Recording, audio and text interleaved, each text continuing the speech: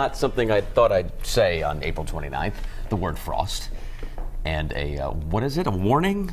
It's an advisory. Right. It just means that, you know, if you've already gotten some plants in Oh. your pots outside, try to start maybe those gardens a little early. You want to cover them up or take some precautions. It's actually not that unusual for us to still see Really? some frost in late April. Yeah, we've got a couple of nights this week where the temperatures will be down into the lower 40s and Ah, upper 30s. don't want it. spots.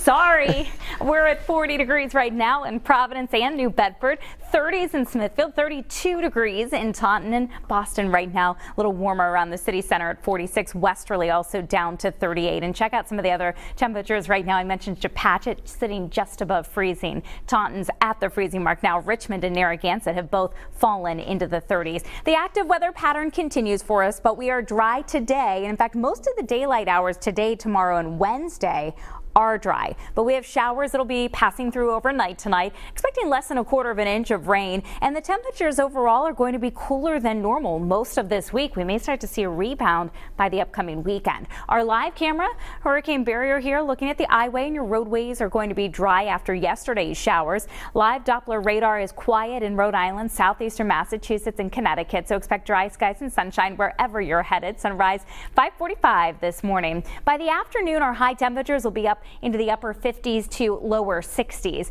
It will cool down a little bit late in the day right along the shoreline as the sea breeze kicks in, but prior to that, places like Narragansett and Westerly should be back up into the upper 50s. And I expect us to briefly hit around 60 in East Providence, Johnston, West Warwick, and Bristol, and we'll be close to 60 degrees in Seekonk and Attleboro, with temperatures cooling a little bit as the afternoon goes on in Westport and Dartmouth as the winds take that turn to the uh, onshore direction out of southwest. High pressure in control for today. Next round of rain passing over the Midwest right now. Those areas of low pressure will move eastward, and that will deliver some rain showers for us during the nighttime hours tonight. So let's time things out for you. We're going to kick off the day with sunny skies, and we'll hold on to the sunshine into the mid and late afternoon. This is at 3 o'clock. By the evening hours, the clouds are on their way in. This is 6 o'clock in the evening. No trouble getting in after school sports, though. Those will be fine. Dry skies again as late as midnight, and then rain showers later in the night. Now, it starts off a little damp on Tuesday morning. Most of the showers should be over with by the end of the morning commute, though.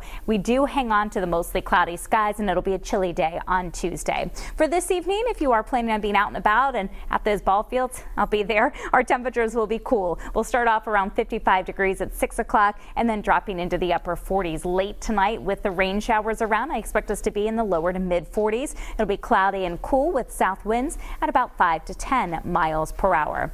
As we take a look at our precipitation chances, and this should say for Tuesday, we are seeing them highest in the morning and then dropping pretty quickly as the day goes on. So I do not expect Tuesday to be a washout, but I do expect it to be a mostly cloudy and cool day with temperatures only making it up to the middle 50s. We'll be dry Tuesday evening and Tuesday night. And Wednesday daytime, as I mentioned, is dry. Wednesday night into Thursday, more showers, rain again on Friday. And then we're cautiously optimistic about the weekend. It is going to be dependent on the timing of a front on Friday. As long as that can move offshore by Saturday, that day looks dry, highs in the middle 60s. And Sunday, may be able to squeeze in another dry day too in the middle 60s. Both days looking seasonable. Your full